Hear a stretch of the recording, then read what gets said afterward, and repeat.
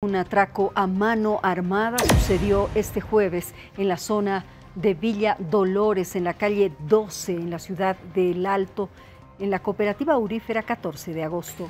Antisociales a bordo de dos vehículos interceptaron a sus víctimas cuando descargaban mineral y se les sustrajo el botín. De acuerdo al relato de algunos testigos, el hecho ocurrió a las 6 eh, con 15 minutos. Los atracadores eran al menos 10 sujetos quienes comenzaron a disparar al aire y estaban en dos vehículos. La víctima fue reducida a golpes y la policía investiga cuánto se llevaron los antisociales. Según un trabajador de la empresa Dinámica, la víctima despidió a los trabajadores hace una semana, por lo que se sospecha que los autores del atraco podría ser o podría tratarse de uno de ellos. Estos vehículos que ha sido encontrado en circunstancias en que este vehículo se encontraba abandonado, un vehículo marca Toyota Corolla, una vez que se perpetró el atraco a mano armada en afueras de la cooperativa 14 de agosto. Los antisociales escaparon con el botín en estos dos vehículos que fueron encontrados horas después detrás del cuartel Ingavi, a la altura de la avenida Arica. Según el director departamental de DIPROVE, uno de los vehículos estaba reportado como robado y el otro es indocumentado. Ya tiene ya denuncia, como bien decía, en fecha 16 de agosto.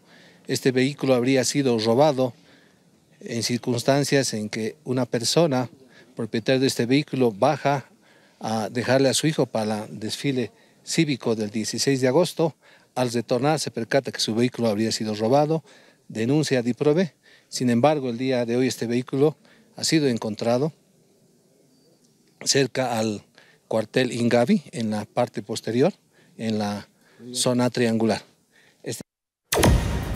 Y queremos seguir dando detalles sobre esta información. Queremos mostrarle imágenes a las que F10 Noticias ha accedido y que nos podría estar dando detalles de esta persona que podría ser parte de este grupo delincuencial que dio ese golpe a esta cooperativa minera.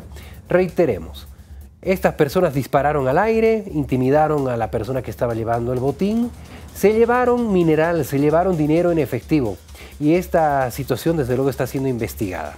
Estas cámaras de seguridad revelan al que podría ser uno de los antisociales que participó de este atraco en la cooperativa 14 de agosto. En esta reproducción audiovisual también se observa cómo viste ese hombre.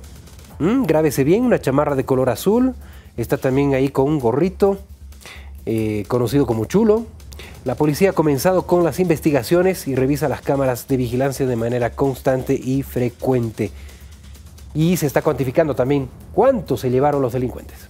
Eh, sabemos bien que son personas que estaban en dos vehículos, estaban armadas y bueno, han amenazado al conductor y a la propietaria del dinero para sustraerles este monto. En consecuencia, lo que estamos haciendo es eh, realizar el trabajo especializado de la Fuerza Especial conjuntamente escena de crimen para poder obtener los resultados lo más antes posible. La policía, a través de la Fuerza Especial de Lucha contra el Crimen, realizará las investigaciones para capturar a los atracadores que de manera violenta robaron una remesa minera, producto de la venta de mineral. Se revisarán las cámaras del sector y las entrevistas a las víctimas para tener mayor información de lo ocurrido en la calle 12 de la zona de Villadolores.